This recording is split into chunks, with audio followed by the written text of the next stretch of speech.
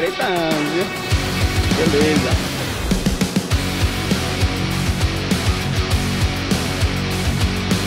De certa forma, trabalhar. Né? Ah, dona Rita!